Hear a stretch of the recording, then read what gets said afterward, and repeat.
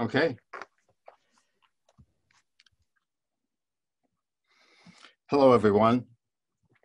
About 15 years ago, I found myself suddenly um, a biologist with a cave when my wife and I purchased a property on a karst area that had a significant cave. And in that time, I have been trying to transform myself from a biologist with a cave into a cave biologist. So I want to thank Aaron and Chris for giving me a chance to share some of what I've learned about conservation strategies for karst and cave in Illinois. So here's the basic outline of my presentation. I'm going to start off by just making sure we're all talking in the same language here. What is karst? Um, pointing out the major karst regions of Illinois, highlighting a few significant karst features, then outlining some resources for landowners and land managers, and then um, sort of looking at a case study of the cave on my property called Stemler Cave. So um, karst is a three-dimensional landscape that is created by the processes of dissolution and erosion of limestone. Dissolution is really a chemical process where the calcium carbonate in the limestone rock is dissolved by the naturally acidic rainwater. And as rainwater filters through the soil, it becomes more acidic, and that dissolves the um, bedrock and creates voids. Erosion is a, more of a physical process, and, and it's primarily water erosion, especially when you get flowing water that has sediments in it you get turbulent flow and that creates an abrasive situation that enlarges uh, voids in the limestone. According to the Karst Waters Institute, about a quarter of the world lives on or gets its drinking water from karst. And in the US, 40% of the eastern US is karst. In Illinois, just about 9% of Illinois is karst. This is a map showing uh, that there are four major karst regions in Illinois. Up in the northwest corner, we have the Driftless area, and that's a geological term that describes a region where um, it has not been glaciated. We have the Lincoln Hills in western Illinois, we have the Salem Plateau in southwestern Illinois, and then the Shawnee Hills. Now, this map kind of paints with a broad brush. Um, my next map is a little more granular look at karst areas in Illinois. Um, so I want to point out a few things. I'm sitting at my desk here at Southwestern Illinois College, SWIC, so you can see where SWIC is located there. Um, and the um, synonym for the karst in my neighborhood is the sinkhole plain for reasons that um, will become clear shortly. All right, so as far as major karst features, uh, caves are, um, to me, the sort of hallmark of a karst area. And in different parts of the US, caves are defined differently, but they are naturally occurring voids in the earth. So that would exclude things like uh, mines or other human-made voids. And in, in Illinois, we have a threshold of 20 feet. So to be a cave, humans have to be able to enter it for at least 20 feet. If you remember your basic uh, ecology, you learned that light energy and photosynthesis is what uh, fuels the ecosystems of the earth. Well, caves are dark. There's no photosynthesis. So cave ecosystems are low energy ecosystems and they are mostly fueled by imported material, organic matter that washes in or is carried in from the surface. So because they are lower energy environments, they are less biologically diverse. There is a smaller assemblage of creatures. And the creatures that are adapted to caves are um, interesting. Um, they have evolved in this totally dark and, and, low energy environment, so they tend to grow slowly and have a um, low metabolic rate. Um, the temperature is moderated, so it's about in the mid 50s year round.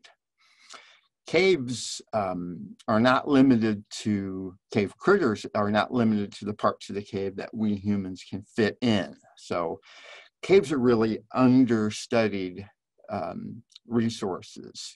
They are one of the ecosystems on earth we know the least about because they are so hard to study and so many of the organisms are in parts of the cave that are not accessible to us humans um, Illinois has um, 738 caves on the record. The Illinois Speleological Survey has a database of caves. So 738 caves. I don't know if that's more or less than you expected. Um, Missouri is much more cave rich. They have about 6,500 caves.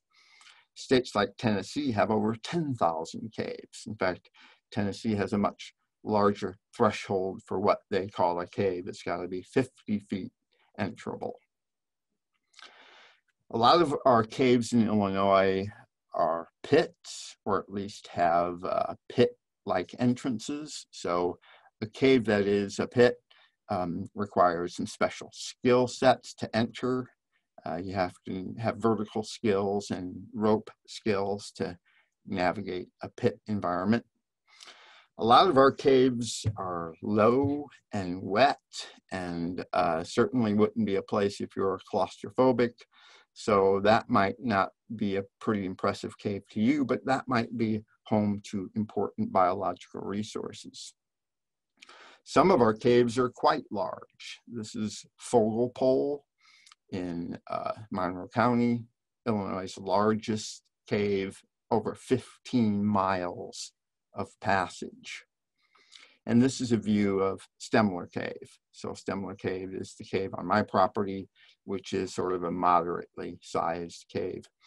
A lot of Illinois caves are wet, um, and water again is the primary force that created them, although there are some dry caves, especially in the eastern part of the Shawnee. When you get in a cave, you get a chance to see the forces that create the cave, the erosion and the dissolution. These are flow stones. So as acidic water is flowing, uh, percolating through the rock and dissolving the calcium carbonate, when it hits the air-filled part of the cave, those minerals uh, come back out of solution and create these interesting flow stones. So another important karst feature is a sinkhole. And sinkholes are naturally closed depressions in the surface of the earth that are internally drained. This is a little um, picture from a topographic map. And, and if you're familiar with topographic maps, the contour lines indicate elevation. Uh, each distance between two lines here is five feet in elevation change. And sinkholes have negative contours. So you see those little tick marks pointing inward, indicating a uh, negative contour. Sinkholes form when there are voids in the bedrock and you have a cap of soil on top of that that is erodible. So over years, uh, the soil makes its way into those voids and the arch of soil above the uh, void gets smaller and smaller and eventually it may collapse and, um, a sinkhole that was perhaps years or decades in the making seems to open up overnight. In the last frame there, you see how eventually they will erode to a relatively smooth contour. This is a pretty dramatic view of a sinkhole collapse from the Illinois State Geological Survey. If you're on Facebook, uh, if you're into that kind of thing, uh, you can subscribe to a public group called All Scary Sinkhole News in One Place. So uh, in my neighborhood, many of the sinkholes retain water. So after they form and erode, um, soil will plug up the bottom of the sinkhole and they will retain water. So these water-filled sinkholes can be really important habitats for amphibians. Um, they tend to uh, undergo pretty drastic changes in the amount of water. A lot of them are shallow and they dry up in the summer and that makes them fishless. And fishless wetlands, as you may know, are really good habitats for um, amphibians. This is uh, an interesting sinkhole um, just down the road from me, which actually fills up from underneath during heavy rains. This is a, a short video here showing how the sinkhole is filling from the uh, karst aquifer, uh, filling from underneath.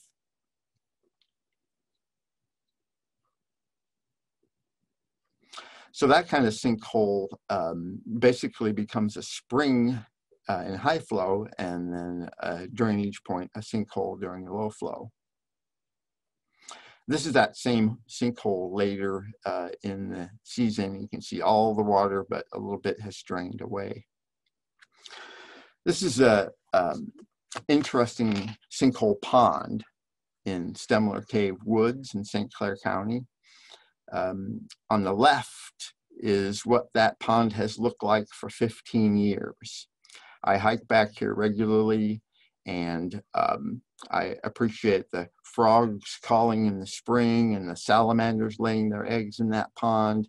And I knew it was deep, but I went into the woods yesterday and uh, was shocked to see that the bottom of that sinkhole gave way and all that water drained out and it is a massive sinkhole. Uh, that's me there for scale standing up on the rim of the sinkhole. So these sinkholes can be quite, uh, quite dynamic. Um, the larger sinkholes can support fish. Some of these sinkhole ponds are semi-permanent. And people uh, will often try to control algae in their ponds. And copper sulfate is a commonly used chemical, an algicide. But copper sulfate is also toxic to many invertebrates. And in a karst area, where there's a lot of connectivity between the surface water and the subterranean environment, copper sulfate is not a good idea. So you should look for um, less toxic ways and maybe mechanical ways to control algae if you have uh, sinkhole ponds with fish and uh, you want to control the algae. Um, I serve on the board of directors of Clifftop, which is a not-for-profit group that is dedicated to preserving the bluff and karst areas in southwestern Illinois. And on our website, you can find a document that uh, is intended for landowners to um, or manage their sinkhole ponds as amphibian habitat.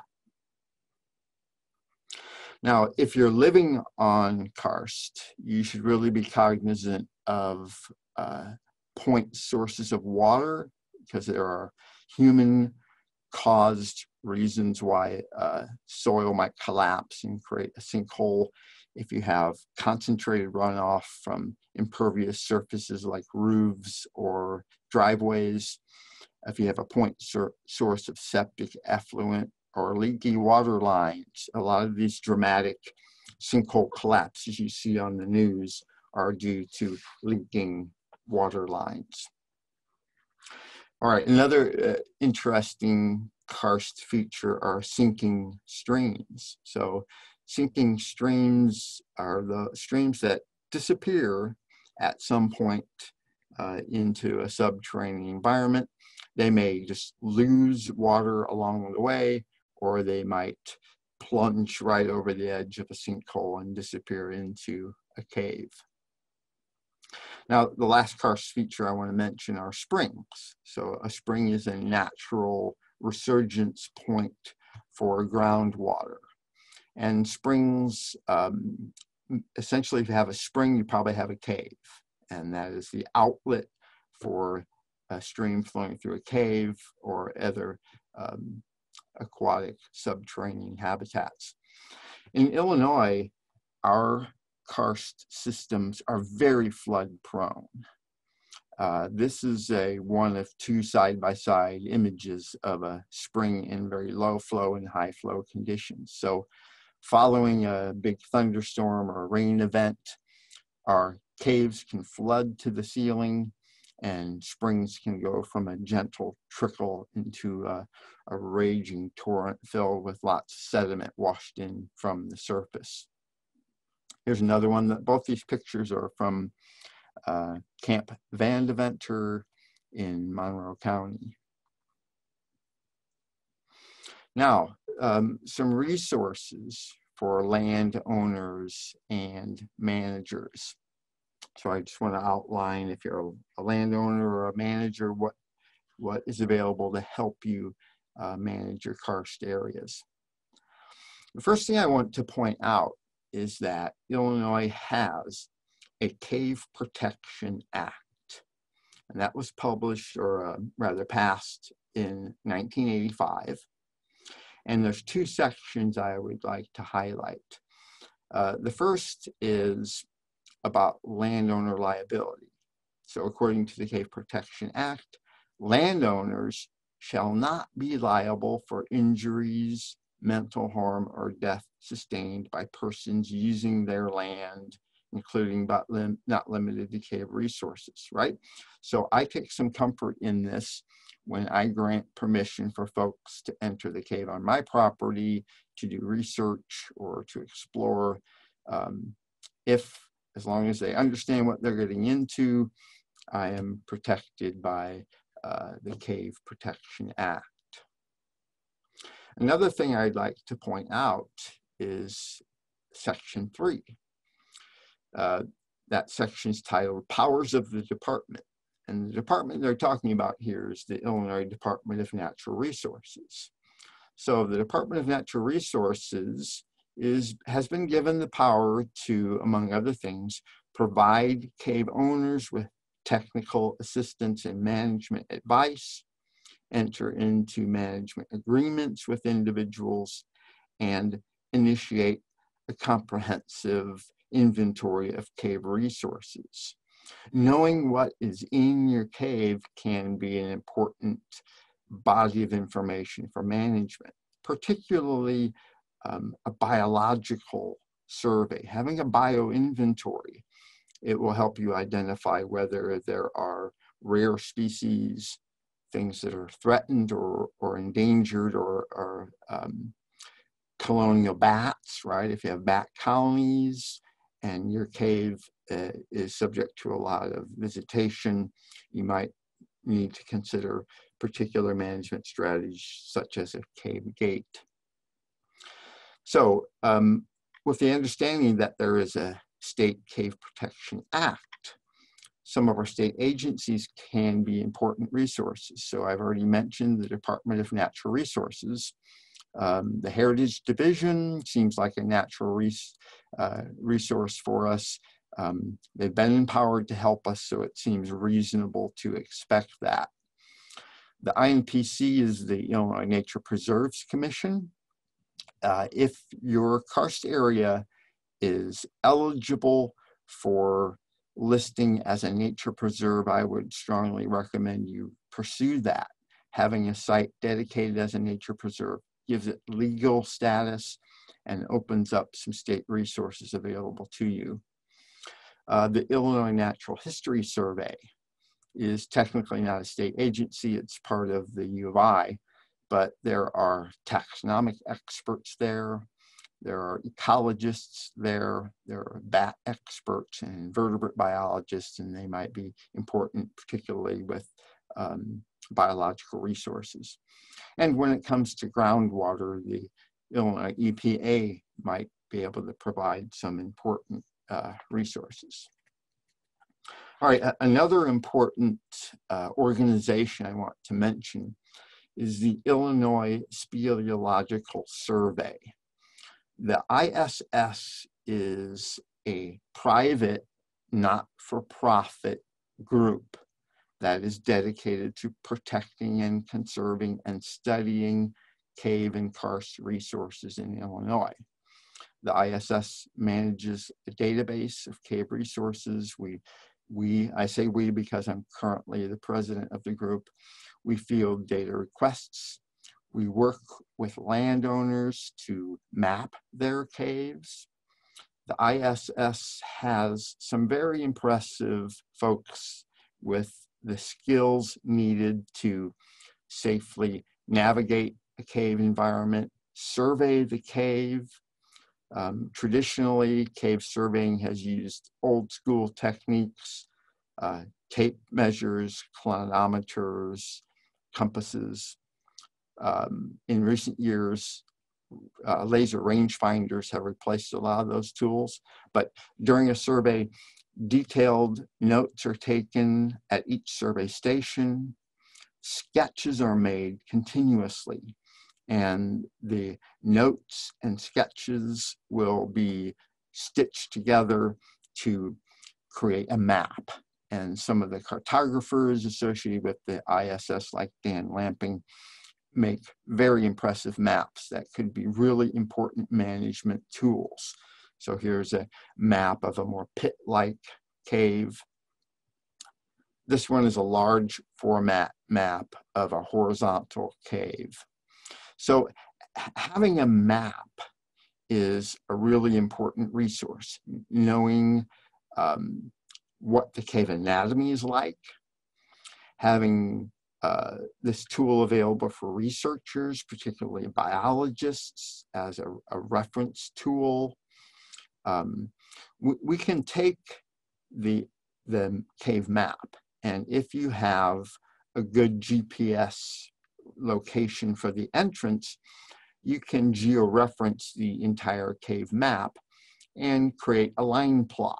And you can superimpose that on a photograph or a topographic map and see where does the cave go relative to surface features, relative to houses and other developments. If, for example, you are going to sink a well, you it would be pretty useful to know if there's a cave underneath that spot you want to drill in.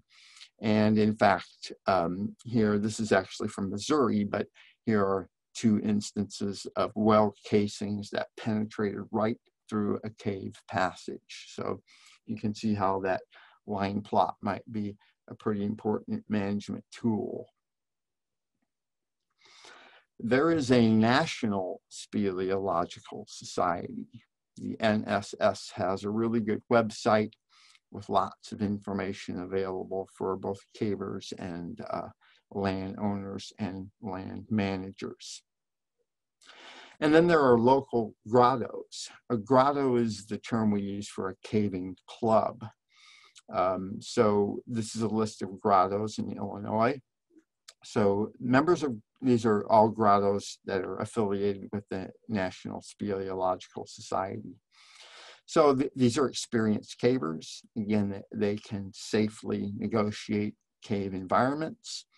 They're conservation minded folks that are eager to go out and use their skills to um, get into karst environments. Many a grotto has sponsored cave cleanups. So caves and sinkholes, unfortunately, uh, were used for years as the local dump. People think if they toss their garbage in a sinkhole, it would just disappear. So um, lots of grottos sponsor um, sinkhole and cave cleanups. All right, so now I'm going to move into um, a little case study, as I mentioned, looking at the management history of the cave on my property called Stemler Cave. So first of all, um, you may be familiar with this map of the natural divisions of Illinois, which is, I think, a pretty cool, um, uh, pretty cool map. Stemler Cave is located at the northern end of the Ozarks, the Ozark Natural Division. And so you might be surprised to learn that Illinois has an Ozarks, but um, it does. The uh, Salem Plateau, the geological feature that creates the Ozarks, spills over onto our side of the river, and southwestern Illinois is the very easternmost edge of the Ozarks. I showed you guys this map before, but um, the most cave-rich part of Illinois is uh, in the southwestern part. Uh, there's over 300 caves known from this area, and most of those are in Monroe County. The Salem Plateau is also referred to as the Sinkhole Plain, and so named for the density of sinkholes. There are over 15,000 sinkholes that have been mapped mostly in Monroe and neighboring parts of Randolph and St. Clair County. This is from the Monroe County uh, GIS website.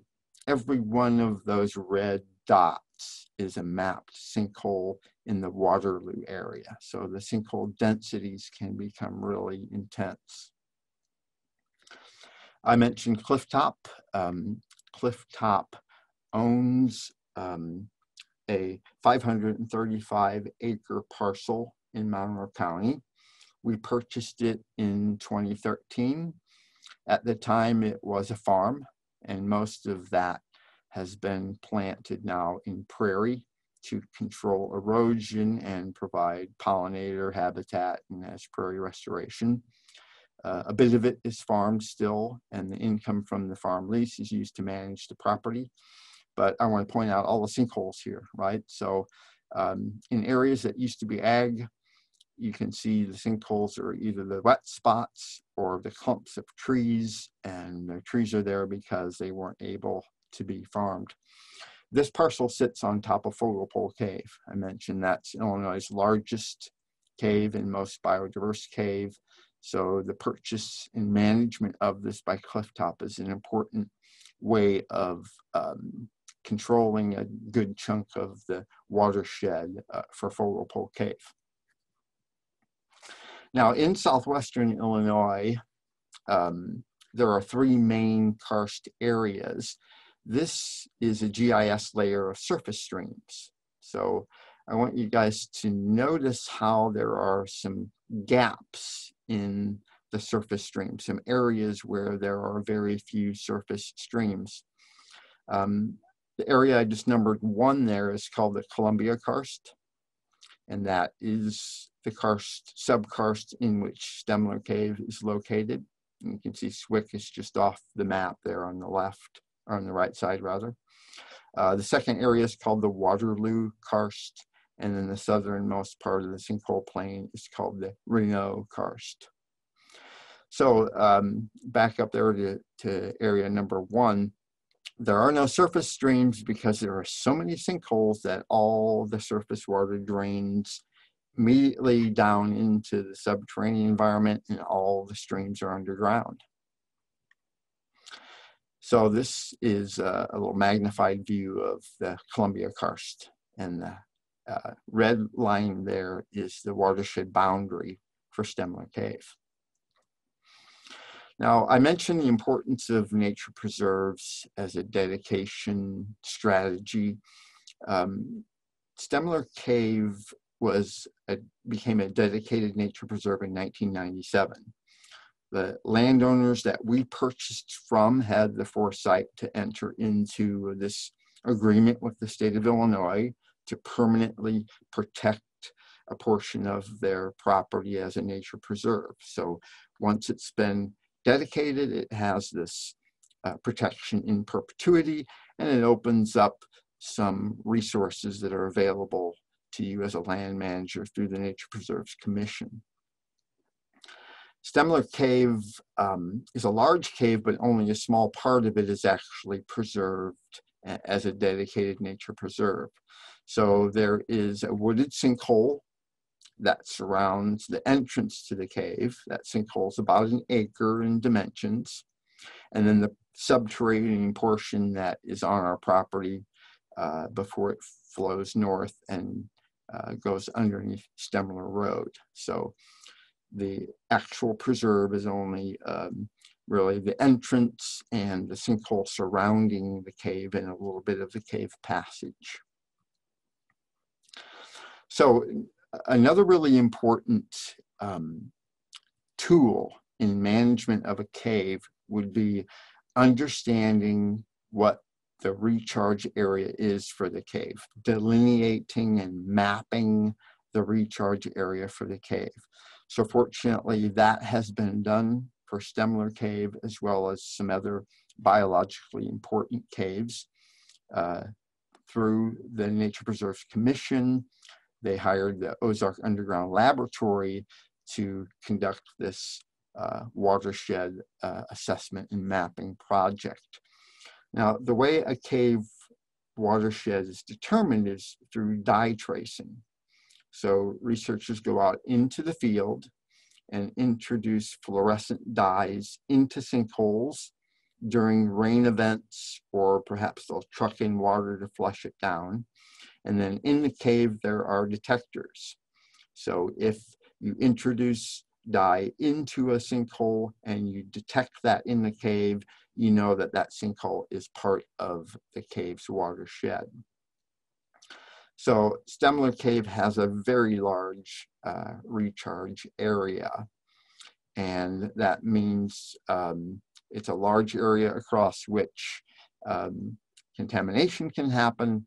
And it's also uh, uh, makes the cave a very flood prone environment. Now, if um, a cave or spring is a dedicated nature preserve, the entire watershed feeding into that preserve is eligible for listing as a class three special resource groundwater. And the, that is the case for Stemler. So several years ago, the EPA of Illinois, the IEPA, listed the uh, groundwater feeding into Stemler Cave Nature Preserve as a class three special resource groundwater. It is eligible for um, higher, more stringent uh, standards unfortunately, those standards have not yet been written, but it's um, eligible for uh, extra uh, protections and uh, higher uh, stringent standards. So uh, th this again is the watershed boundary of the cave.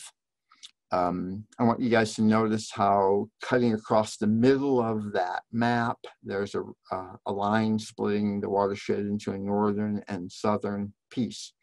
So the southern piece is the part of the watershed that feeds into the cave, and then the northern uh, section is the rest of the cave that then discharges at a point called Sparrow Spring.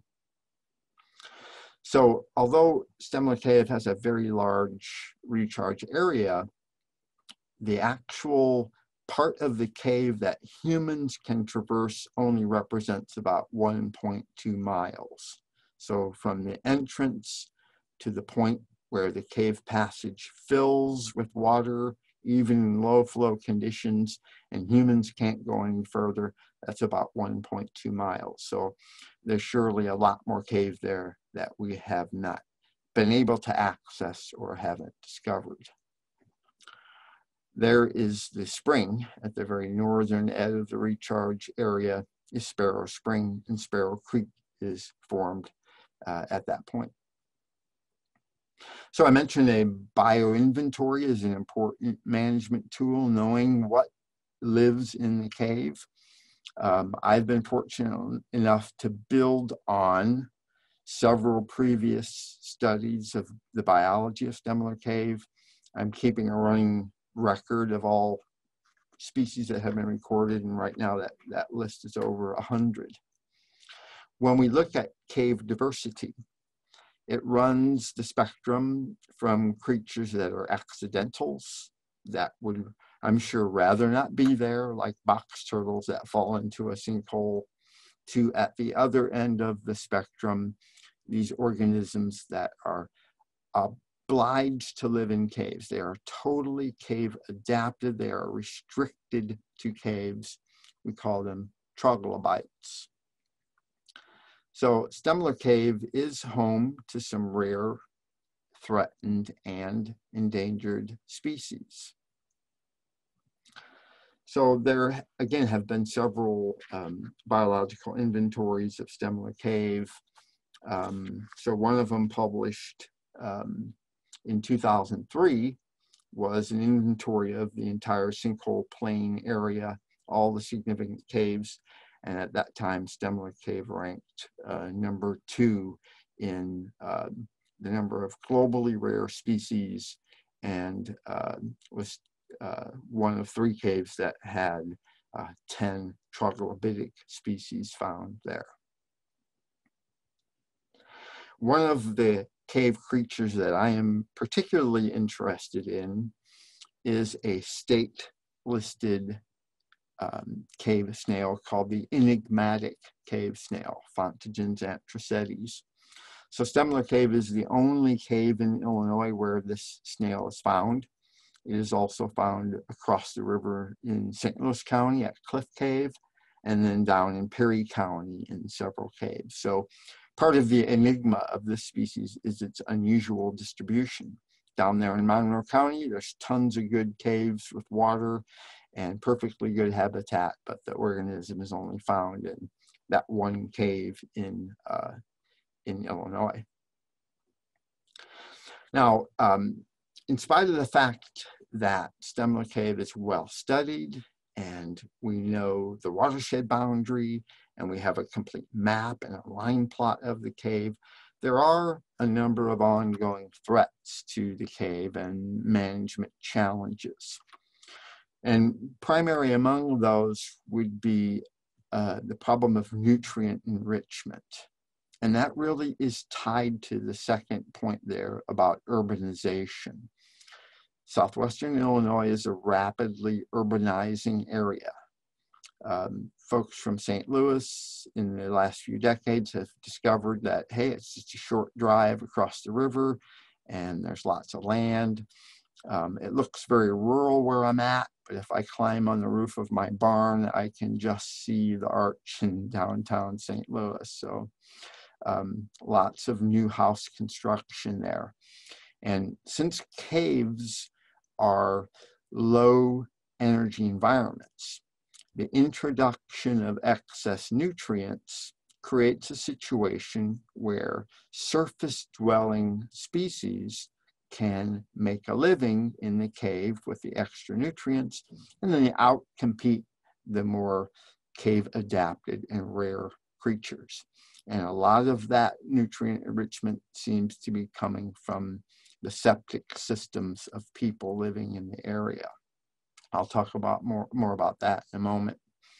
There is some ongoing issues of erosion along Stemler Road. The entrance to the cave is is right smack along the road.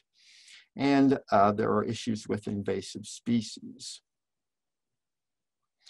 So this is a federally endangered organism, the Illinois cave amphipod, that is its whole global range is in the sinkhole plain karst. It is only known from a handful of caves in southwestern Illinois. And the Stemler Cave is one of the caves where it was originally described, and it seems to have disappeared. It, it cannot be found in the main passage of the cave. So um, in 2006, a published study compared, oops, compared um, Stemler Cave to Illinois Caverns, which is uh, a cave where the amphipod is demonstrably present. And the researchers were looking for clues as to why the amphipod might have disappeared from uh, Stemler Cave. And what they found is uh, a chronically low dissolved oxygen in the water of Stemler Cave.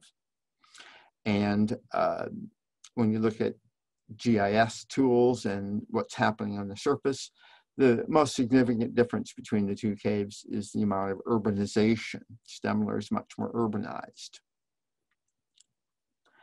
So again, it, it seems to be septic contamination. Um, I do a lab on stream ecology with my students, and I bring samples of cave water in, and we do a simple test for coliform bacteria, and we always find them in the Stemler cave water. As you can see, thankfully, the tap water from SWIC is always negative. So in karst areas, um, septic management is a really important issue.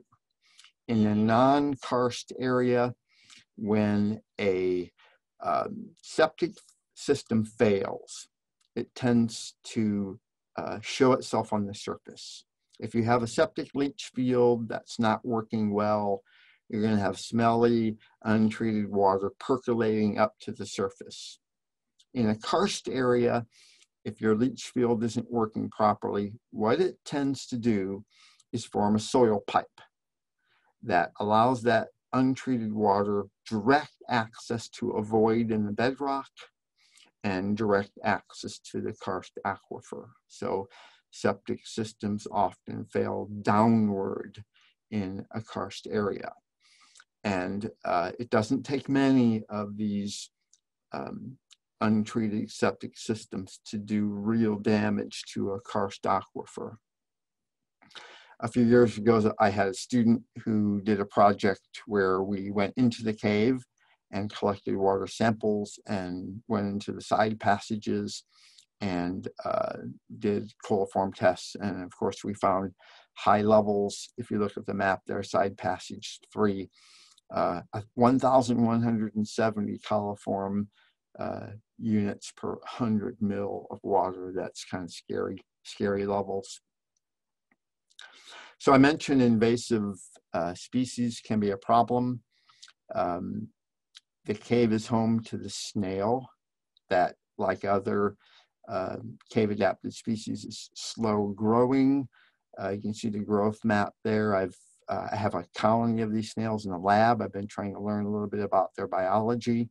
And it appears to take um, 23 weeks for this snail to go from hatching to uh, adult size. Whereas this other snail, Physa acuta, which is well established in the cave, takes about seven weeks to re reach maturity. So fast growing uh, high reproductive potential. They're, they have the potential to uh, compete with and perhaps out-compete the uh, cave-adapted snail. On the surface, bush honeysuckle is a real problem in my area. Um, the honeysuckle invasion gets so bad that there's no herbaceous vegetation. Traditionally, the woods were quite open, more almost a savanna-ish condition with grasses in the understory. And those grasses and other herbs uh, hold the soil and prevent as much erosion from happening. And when you get a heavy honeysuckle invasion, uh, you tend to get more erosion and sedimentation in the cave. I mentioned erosion as a general problem. Um, there was a big slope failure a few years ago. A lot of earth washed into the cave and this is on the side that faces the road so there is the potential there for um, a hazard to the actual road. Okay, um, I'm getting close to the end of my time here so I want to make sure I thank um, folks who contributed images and data to my talk, particularly Aaron Addison, Derek Holtman, Dan Lamping, Philip Moss and Frank Wilhelm. And I'm sure we have some time for questions. Yeah, thanks, Bob. Um, sure. Re really interesting stuff. We had a few questions come in. Um, so I'll go ahead and start there and I'll encourage other people if they have questions for Bob, go ahead and put them in the chat box. but um, one question came in was talking about springs in karst regions.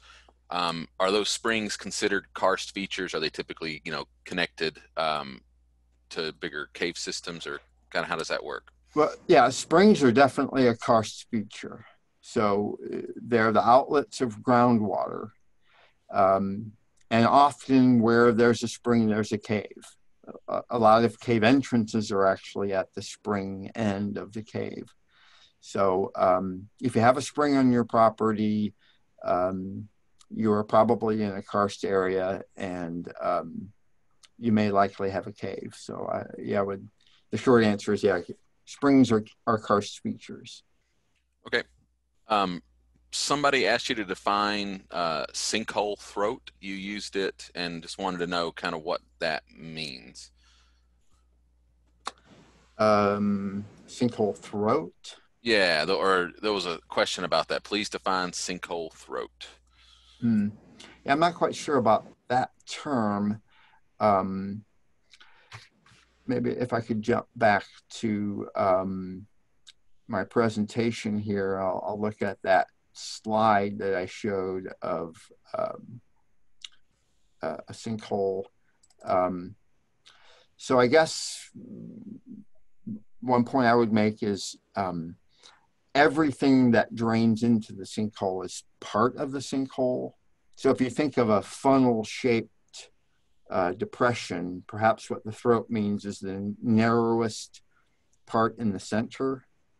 I'm not sure, but if you had a funnel and if that was a sinkhole, you'd have to go all the way up to the top of the funnel. That's all part of the sinkhole. So I'm not sure if I'm answering the question or not. But. I think you did. Yeah, that makes sense. Um, another question is, uh, look, what's the legality of accessing or, or exploring a cave if it, um, if you have, you know, access to go in at the entrance, but it then goes under other people's private property? Yeah, uh, that's true. Um, and, and, I guess it's kind of a gray area. Um, depending on how your property description works, um, whether you have mineral rights, for example. Um, I believe your property goes down into the earth. so yeah, if I entered the cave on my property and I headed north, I would technically be underneath my neighbor's property. Um, so yeah, the, um, you should probably get permission from the person whose property is above you if you're going to be traversing that part of the cave. Okay. I know the state pays attention to that. Uh, Pole Cave, um, the state has Pole Cave Nature Preserve, and um, if if you are entering the cave outside of the preserve, but then you cross into their property, they you know they're concerned about that. So yeah, your property rights do go down and include cave cave passage. Okay. Um, here's a question. Uh, given that troglobite species are so delicate and cave adapted, how do they colonize unconnected cave systems? Were caves connected in the past? And does this suggest they are currently connected in ways that we're unaware of? Yeah, that, that's an excellent question. Um, with the cave snail that I mentioned, it's likely that um, the snail ancestor of this snail was widely distributed across the surface habitat. And perhaps even during glacial periods, it was able to move from one area to another. Um, it, in the case of that snail today, there is essentially no way for that snail to get from Stemler Cave in the north to Pole in the south. um, somebody would have to pick it up and carry it there. So yeah, it, caves are like islands, and uh, in many cases, the this the troglobites, their ancestors might have been distributed across the surface, but now they're isolated. So you, you can sometimes get interconnections between groundwater basins, but largely um, what we call the same species in different caves are likely descended from a common surface ancestor. Okay, great. Um, couple more questions came in. Um, one is basically, uh, is Stemler Cave open to the public? Uh, are there other caves that are open to the public in Illinois? Uh, in, in Illinois right now, there are no caves owned by the state that are open to the public. Um, so Stemler Cave Nature Preserve is a dedicated nature preserve, but it's on private property. So that's a point of confusion. Uh, nature preserves can be private or publicly owned. So no, it's not open to the public.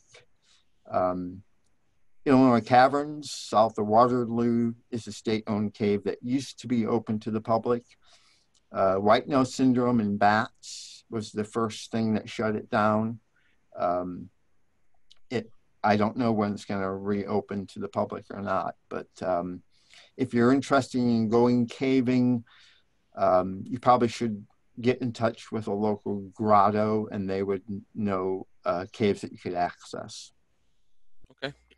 Um, there has been a couple questions about um, white nose syndrome and cave and gating the entrance of caves. caves. Yeah. Um, can you speak just a little bit more on that? Kind of what that's what what, what you're talking about with that? Yeah. Um, white nose syndrome is a fungal disease that has been spreading across the U.S. from east to west. Um, it hits colonial bats, bats that roost in caves in colonies, and the mortality for some species is uh, approaches 100%. So it is a, a, a seriously uh, lethal threat to cave dwelling bats. And um, the bats are really vulnerable in the winter when they're hibernating. If they're nose positive and someone enters a cave and disturbs them, they might use up the last little bit of resources they have available. Um, so the most common reason to gate a cave is it has uh, colonial bats and people are visiting it and at inappropriate times or too frequently. Um, so, you know, that, that's the main reason a, a cave might be gated. Okay. Great. Um, somebody asked a question about fracking, uh, you know, hydraulic fracturing, fracking, and, and what effect does it have uh, on karst areas? Yeah, um, I think, well, I, I think I'm not a geologist, so um, I think the kinds of geological formations that are prone to have petroleum and gas probably aren't the same ones that would have caves. I'm not positive. I guess I'm gonna have to punt on that one. I'm not sure. Okay, no worries. I, I know fracking introduces a lot of nasty um, chemicals into the ground. So if it's in a karst area, that seems like a pretty bad recipe. Um, what is a good website to see all of the caves in Illinois? Um, for example, the source of the map that you shared, you know, by county. Is there a place that people can view where these caves are? Um, that map can be found on the Illinois Speleological Survey's website, ilspeleo.org. Um, can't really think of another source. Okay, right, that's good. Um, related question. Somebody wanted to know what did the, where did the term spelunking come from? And they assume it's related to spe, speleology. Yeah, yes. The term speleo refers to caves. Um, a spelunker traditionally was the term for someone who um, explored a cave. Um, in the caving community, the word spelunker is a bit of a derogatory term. um, we, we call ourselves cavers. So spelunkers are more like two guys with one flashlight that want to go check out a cave, right?